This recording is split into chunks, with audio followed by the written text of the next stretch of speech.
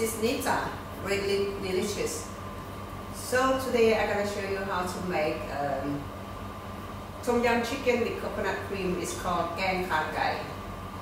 It's very nice, similar to tom yum but a little bit different. With uh, instead of using the tom yum paste, but I use the coconut milk. Okay, let's go. Let's do it. So, okay, let's start it. Let's get started. Kha So I'm gonna make about uh, one perfectly one bowl for one or two people, okay? First, about half cup of water.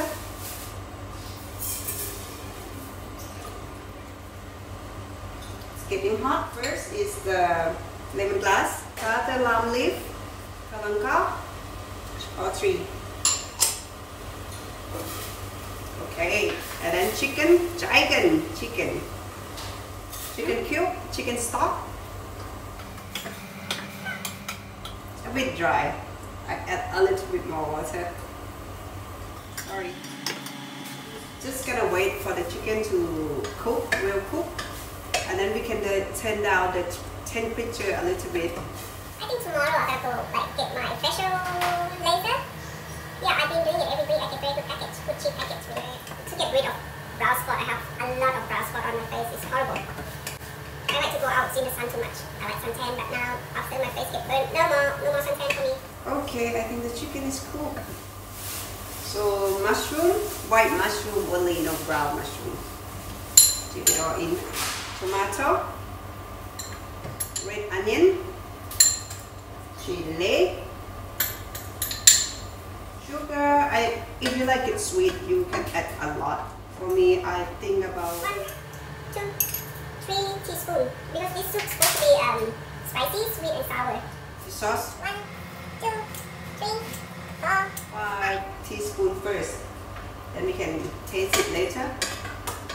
Lime juice. I like it sour. So one, two, three, four, five, six. Six teaspoon of lime juice. Let's taste it. Hmm, so nice, but I like it a bit more sweet. One, two, three. So yeah, I add a bit more sugar and two more fish sauce. I like it a bit strong because when you add coconut milk, the taste will will drop a little bit. So you always make it a bit strong.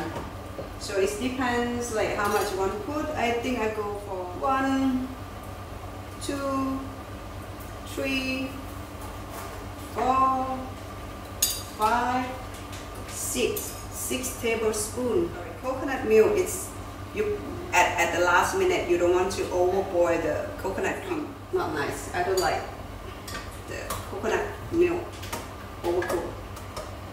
Okay, now let's taste.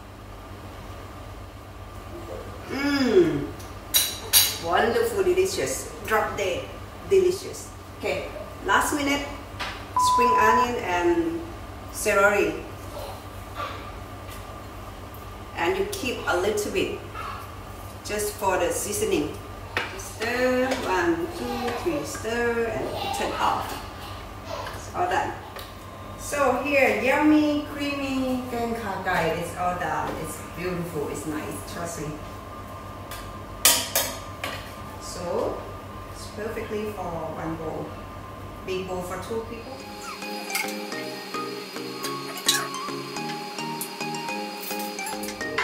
This is the spring onion that we keep just for topping and seasoning. There you go, perfectly. Tom yum chicken, no, gang kha gai. There you go.